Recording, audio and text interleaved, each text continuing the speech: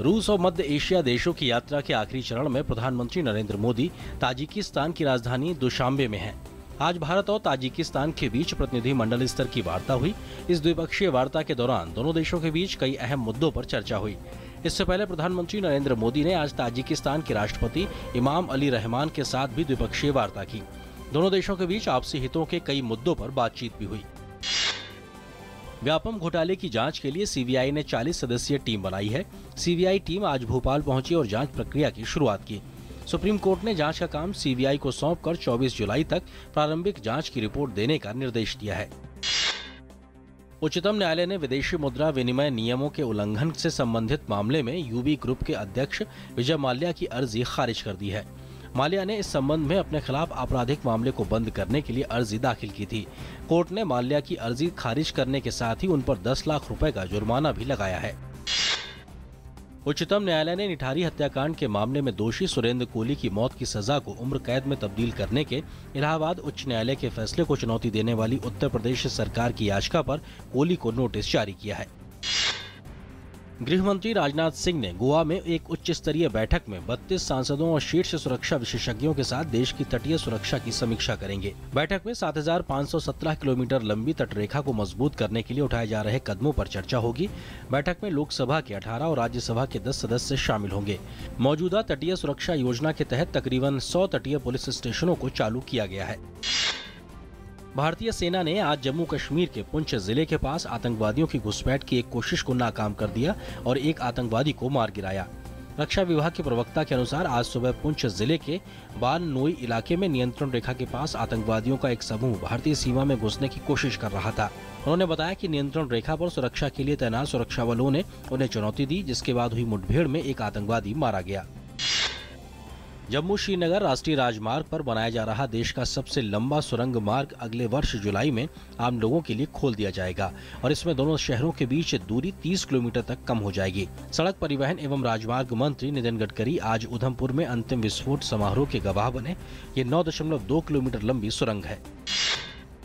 जम्मू कश्मीर में झेलम नदी के जलस्तर में बढ़ोतरी को देखते हुए बाढ़ की शुरुआती चेतावनी जारी की गई है।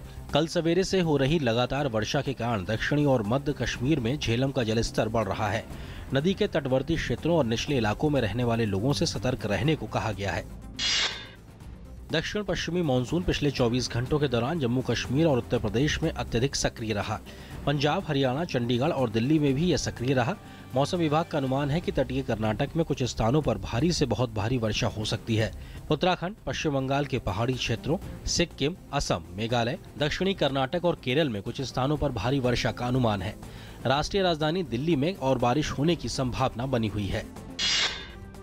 केंद्रीय कपड़ा मंत्री संतोष कुमार गंगवार ने आज पचपनवे भारत अंतर्राष्ट्रीय परिधान मेले का उद्घाटन किया। इस मौके पर उन्होंने कहा कि भारत के पास विशाल युवा आबादी है, जो जनसांख्यिकी लाभ देने की असीम क्षमता रखती है। उन्होंने कहा कि यह मेला भारत से निर्यात किए जाने वाले परिधानों के लिए एक बड़ा मौका साबित होगा। भारतीय क्रिकेट कंट्रोल बोर्ड यानी बीसीसीआई ने आज मुंबई के रणजी क्रिकेटर हिकेन शाह को आईपीएल के दौरान एक साथी खिलाड़ी के साथ भ्रष्ट आचरण के आरोप में आज निलंबित कर दिया। बीसीसीआई ने मामला अपनी अनुशासन समिति को सौंप दिया है, जो इस पर आगे कार्रवाई करेगी। दक्षिण कश्मीर में हिमालय पर्वत श्रृंखलाओं में स्थित पवित्र अमरनाथ गुफा के लिए वार्षिक तीर्थ यात्रा खराब मौसम के कारण आज भी बाधित रही। हालाँकि जम्मू श्रीनगर राष्ट्रीय राजमार्ग को हल्के वाहनों के लिए खोल दिया गया।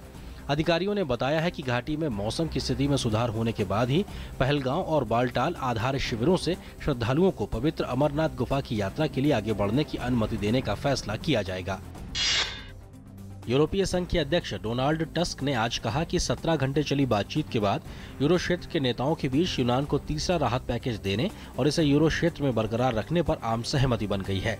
टस्क ने यूरोपीय संघ के राहत कोष का हवाला देते हुए कहा कि यूरो शिखर बैठक में सर्वसम्मत बन गई है।